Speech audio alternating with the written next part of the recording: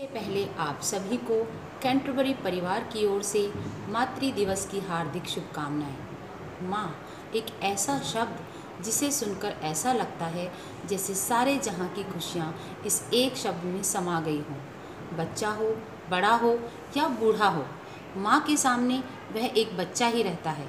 माँ दुनिया जहाँ की मुसीबत झेल कर अपनी संतान पर आँच नहीं आने देती। माँ ईश्वर का दूसरा रूप है। जिस प्रकार ईश्वर कभी हमारा बुरा नहीं करते, उसी प्रकार माँ भी कभी अपने बच्चों के लिए बुरा नहीं सोच सकती। उसकी हर डांट में हमारी भलाई छुपी होती है। वह डांट कर हमें सही राह दिखाती है। हमारा मार्गदर्शन करती है। हमारा फ़र्ज़ बनता है कि हम अपनी माँ का कहना मानें, उनका आदर सम्मान करें, उनकी छोटी छोटी बातों को ध्यान से सुने और उनके कामों में मदद करें। उनकी सेहत का ध्यान रखें। अब मैं चंद पंक्तियाँ इस विषय पर आपको सुना रही हूँ। फ़िक्र में बच्चों की कुछ।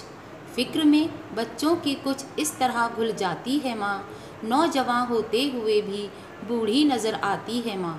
चोट लगती है हमें और चिल्लाती है माँ। मांगती है कुछ नहीं। अपने लिए ऊपर वाले से अपने बच्चों के लिए दामन फैलाती है माँ। फैलाती है माँ। चाहे खुशी में हम माँ को भूल जाएँ ए दोस्तों, पर जब मुसीबत सर पे आती है, तब याद आती है माँ, तब याद आती है माँ। माँ का कर्ज कभी हम अदा कर सकते नहीं, क्योंकि अपने खून, प्यार और ममता से हमें सींचती है माँ, सींचती है माँ, ऐसी होती है माँ, ऐसी होती है माँ। धन्यवाद।